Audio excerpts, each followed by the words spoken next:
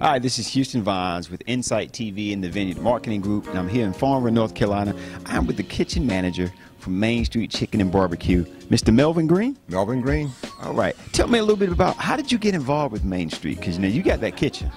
The food is coming out really, really good. We have to be able to come up with a concept. Mr. Jones and his staff came up with the concept first of featuring a uh, variety of home cooked meals, specializing in barbecue pork, smoked chicken, and ribs. I got into the business by a mutual friend, and I owed him a favor. He asked me would I come out of retirement to help him, and I did so. And I came down here to make sure everything is ran uh, efficiently and professionally as possible. And we specialize in uh, safety. You have to have someone to uh, overlook the operation as far as making sure the food is turned out in a safe environment, as well as a very, uh, a very Efficient manner. efficient manner. And, and the food's still got to be good. Still got to be good. Still got to be good. Now safety you, is our main issue.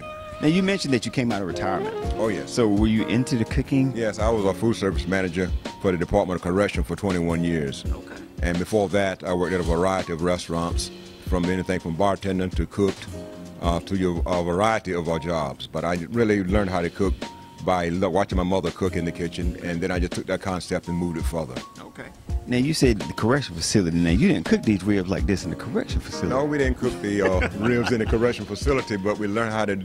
We learned a lot of uh, uh, safety aspect in the Department of Correction Gotcha. and portion control.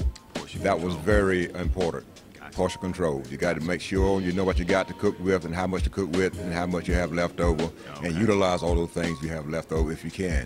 Okay. Now let me ask you this, because I know Main Street, the food is wonderful. Because I come down and I'm helping with the marketing and different things, Right. and they still keep getting their money back. I end up with a plate when I leave. The food's good. Right. Um, but tell me, I know you guys do catering.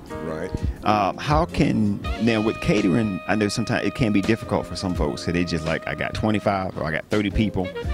They don't really know how to estimate the cost. So you guys handle that as well. Yes, we do. Preparation is the key to uh, anything that you that you specialize in, like uh, outside of the kitchen, out of, the- out of the main menu, a venue rather.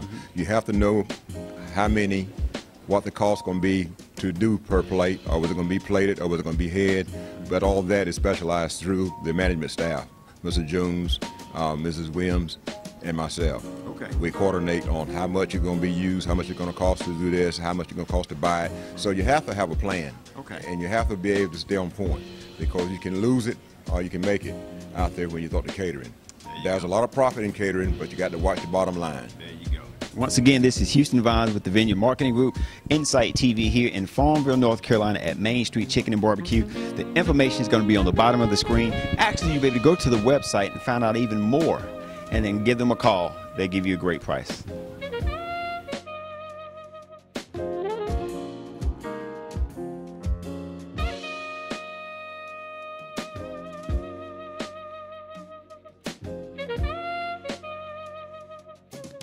There will be no love that's dying here. The bird that flew in through my window simply lost his way. He broke his wings, I helped him heal, and then he flew away. The death of love is everywhere, but I won't let it be. There will be